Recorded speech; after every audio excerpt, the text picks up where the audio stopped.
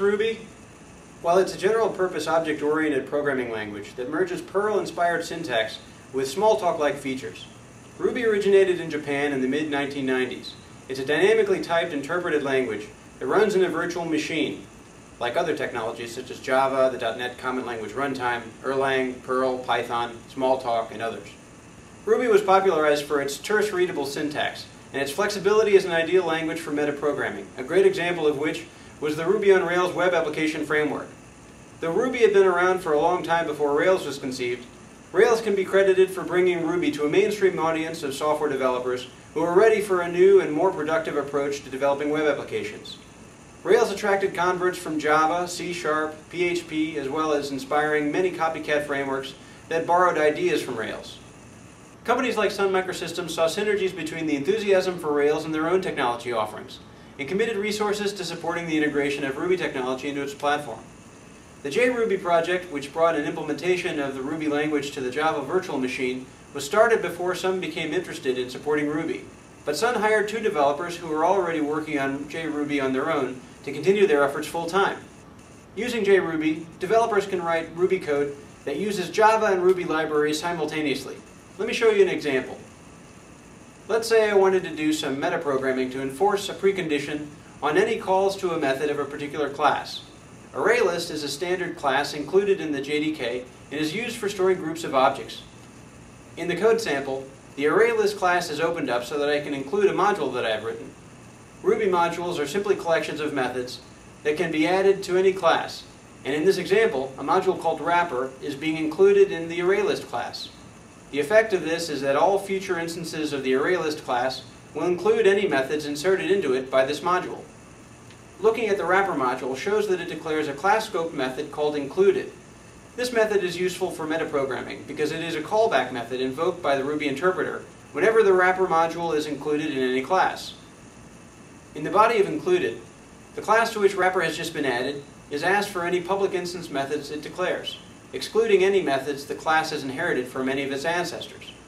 For each method, the code will create an alias to that method so that it can be called later under a different name. The new method alias is made private so that it doesn't clutter up the public interface of the class. Next, the code redefines the existing public method.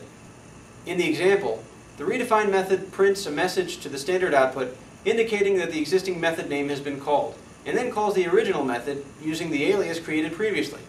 The effect here is that the original method is wrapped by another method, which can enforce any business rules or behavior that is appropriate. Executing the code example shows the following output.